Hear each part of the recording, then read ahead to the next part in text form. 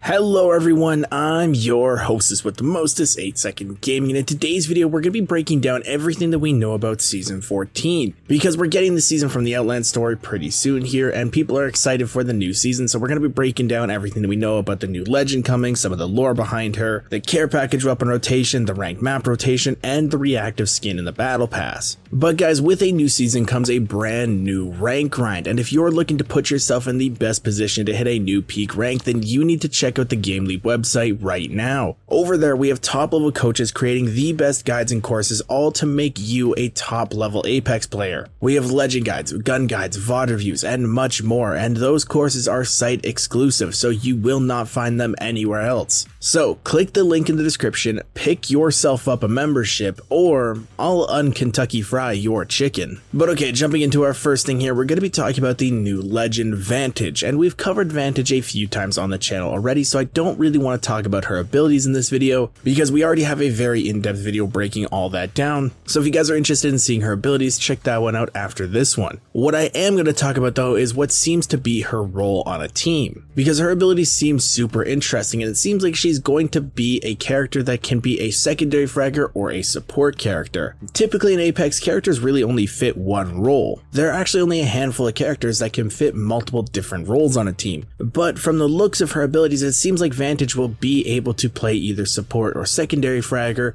because she's going to have the ability to scout out teams, see their legends, see their armor, and then she's also going to be able to be giving her teammates damage buffs with her ultimate. So it seems like you could play her as a support in the backline using your ultimate to boost your damage for your teammates while they run in, or you could use her as a secondary fragger, getting the damage buff and then jumping into the fight with your tactical and then use it yourself. Now I do understand that people are a little bit upset that we're not getting a dedicated support character like Lifeline or Loba in the game, but I think Vantage will be a really cool unique addition that won't be game breaking but will fit in a really cool specific team comp. But now we also know a little bit more about Vantage's lore. Respawn has been putting a few things up on Twitter, including a voice recording that explains a little bit more about her being a prisoner. Now for some people you may have caught on that this is Mirage's voice actor in the recording, but don't be fooled, it's not Mirage, it's just the voice actor. He's played other NPCs in the past in other stories from the Outlands and teasers. He's just a good voice actor and they're using him for that as well. But in the recording also we hear about it being a prisoner planet and it only has two people on it, so it seems like Vantage and her mom are the only two people there. And from the other teasers that they released with her diary pages, it seems like she could have actually been born on that planet, that planet being Pagos. And in those diary pages, we learn about her being a hunter and her mom watching over her as she grows up. So it lends more credibility to her being born there and her not knowing anything else outside of that. So potentially the recording is her trying to escape the planet, them sending somebody to stop her, she overpowers them, takes their ship, leaves, and then the Syndicate catches her and puts her into the Apex games. That's my theory on this thing, but you know, let me know your theory in the comments down below. Until we get the stories from the Outlands video on her though, that's all we really know about her right now, so let's move into the care package guns because everybody likes care package weapons. And next season we are getting the Scout out of the care package. I know a lot of people want the Volt out of the care package because the Volt was a much more popular weapon, but the Scout's been in there for its three seasons, so it is coming out. Now the gun that will be replacing it is more than likely the Bocek bow. This bow on release was extremely broken. It's good right now, but it's nothing compared to what it was. And it would be a fantastic care package weapon if they put it back to that state. And with you being able to retrieve arrows, it might actually be the first care package gun that you could technically sustain the ammo for it. And it would also kind of make sense with the season, it being about hunters, because Vantage and, you know, hunters use bows, so, you know, maybe it makes sense. And speaking of the theme of the season and the Battle Pass, the reactive skin for the Battle Pass isn't known, but we can really kind of infer a little bit of information. Typically, when they make the reactive skin, they like to theme it around the Battle Pass and kind of the entire season. That's why with Newcastle in this season, it was all kind of knights themed, and that's why they made it the Spitfire, because dragons and knights and stuff, and dragons spit fire. So with the next season being about hunters and that kind of thing, it would make sense that we're getting something for either a marksman rifle or a sniper rifle because Vantage is very big on those sniper rifles.